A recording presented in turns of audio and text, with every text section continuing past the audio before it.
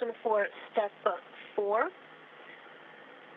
And you can see uh, the same display being viewed uh, in the cupola uh, by Butch Wilmore and Samantha Cristoforetti, who are uh, operating uh, the station's robotic arm, the 57 foot long Canadarm2, that will reach out and grapple the grapple fixture on Dragon a short time from now.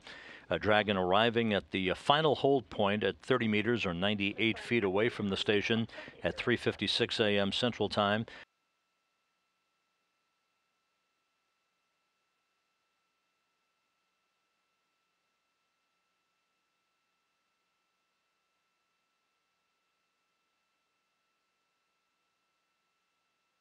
The International Space Station and Dragon currently moving from southwest to northeast across the uh, Pacific Ocean will uh, cross the west coast of Mexico north of Guadalajara a short time from now. Again, uh, the grapple uh, of Dragon expected uh, to occur some 35 minutes ahead of schedule at a time uh, that would be no earlier than one minute after sunrise to provide the uh, appropriate lighting for Station Commander Butch Wilmore, who is the uh, prime crew member for the grapple of Dragon operating uh, from the robotics workstation inside the cupola of the International Space Station, backed up by European Space Agency flight engineer Samantha Cristoforetti.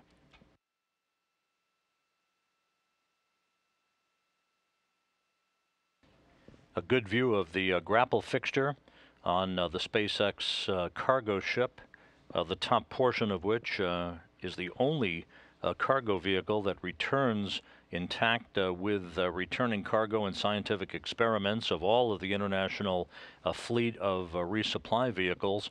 that grapple fixture directly underneath that is a, a suite of navigation sensors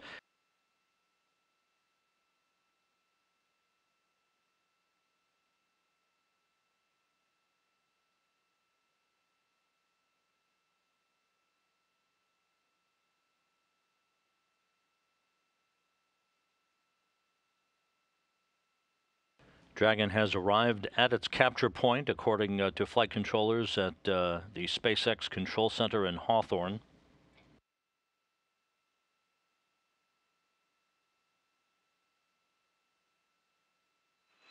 Station Houston on 2. Dragon is holding at the capture point. Please perform step 6 in 1 decimal 102.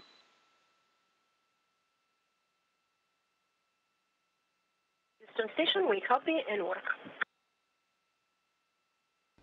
that uh, exchange uh, between Randy Bresnik, the spacecraft communicator here in Mission Control, and uh, Samantha Cristoforetti, indicating uh, that the procedures now uh, will be put in place uh, to begin the movement of the station's robotic arm, the Canadarm2, towards the grapple fixture on Dragon, with capture anticipated no earlier than one minute after sunrise uh, which would be approximately 4:39 a.m. Central Time, 5:39 Eastern, running well ahead of schedule, some 35 minutes or so ahead of schedule, uh, since everything has been going so smoothly uh, with uh, the rendezvous and all of Dragon systems, and the crew uh, being eager to uh, grab onto Dragon and get it bolted into place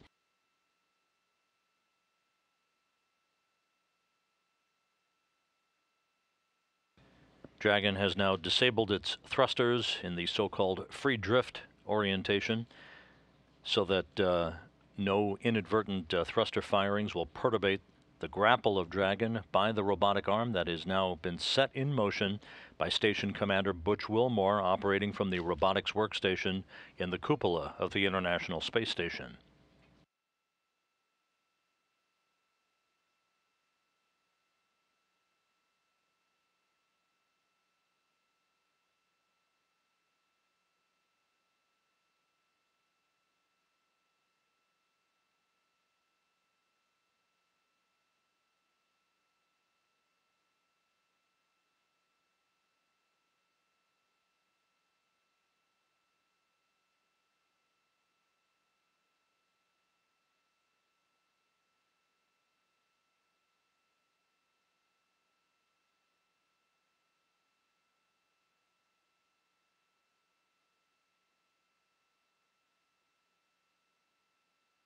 One meter now.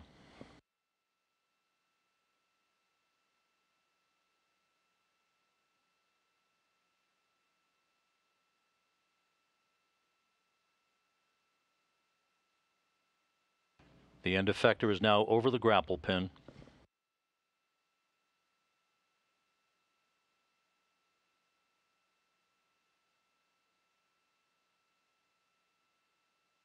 And we have grapple at 4:54 a.m. Central Time, 5:54 a.m. Eastern Time. We have captured Dragon 262 statute miles over the Mediterranean. So once again, to recap, uh, Dragon now part of the International Space Station. It uh, will be uh, housed uh, at the Earth facing port of the Harmony module of the station for the next 29 days until it is unbolted, unberthed, and released on Tuesday, February 10th to begin the journey back to Earth that will culminate with a return of supplies. Uh, and uh, critical scientific experiments with a splashdown in the Pacific Ocean uh, southwest of Long Beach, California, in the late afternoon of February 10th.